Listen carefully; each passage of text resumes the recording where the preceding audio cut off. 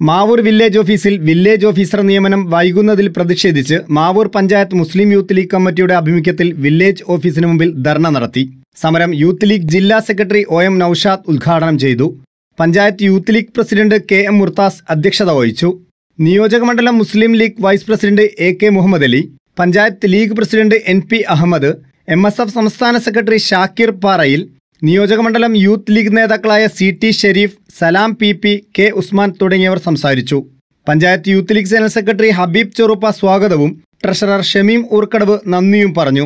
പാറമല്ലങ്ങാടിയിൽ നിന്നും പ്രകടനമായിട്ടാണ് പ്രവർത്തകർ ധർണയ്ക്ക് എത്തിയത് പ്രതിഷേധ മാർച്ചിന് യൂത്ത് ലീഗ് നേതാക്കളായ ലിയാഖത്ത് അലി അബൂബക്കർ സിദ്ദീഖ് അലി വി ഫസൽ തെങ്ങിലക്കടവ് നിസാം ചെറുപ്പ മുസമ്മിൽ തെങ്ങിലക്കടവ് ഹനീഫ പി സൻഷീർ ജലീൽ റഷീദ് പനങ്ങോട് റഷീദ് മുക്കിൽ നജീബ് പാറമൽ തുടങ്ങിയവർ നേതൃത്വം നൽകി. Calicut news Mavoor. Gulf media studio. Audio video video editing still photography ആധുനിക സംവിധാനത്തോടെ സൗണ്ട് ഡബിംഗ് സംവിധാനം.